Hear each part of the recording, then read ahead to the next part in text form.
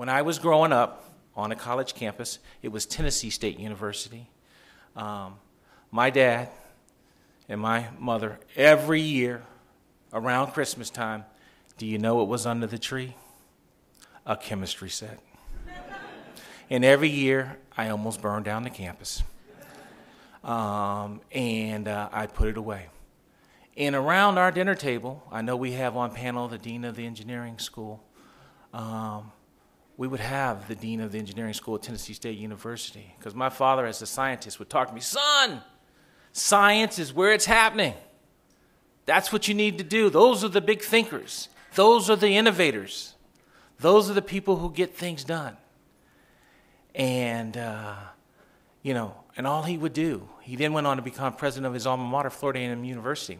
And what's kind of interesting, because the person just retired, he worked with the former chancellor of the California State University, Charlie Reed, who's just retired, I think, in 2012 as the chancellor of California State University.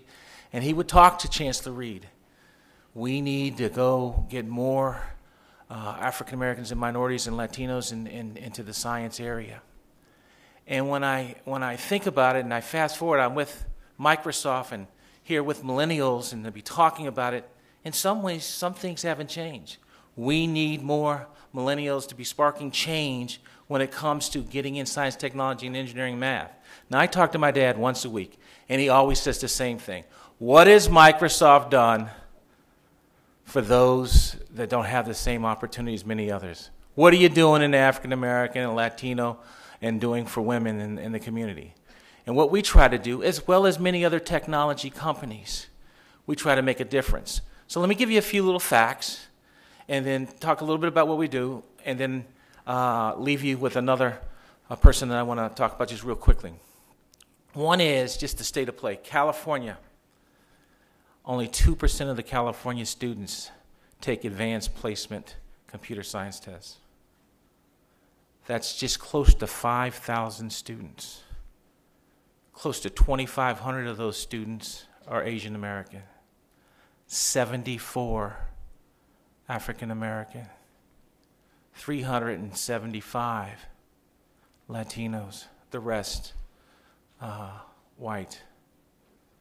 That's not a good situation when you look at the number of uh, students in high school um, in California.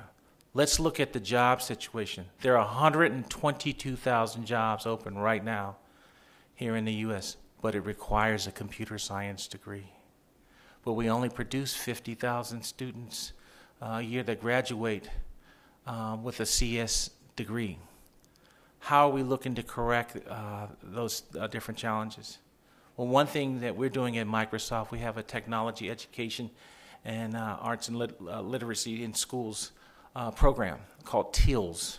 We have one in the city of LA where we have, there's like 275 uh, uh, developers, computer science uh, experts that volunteer their time to go work in the schools year round to teach computer science.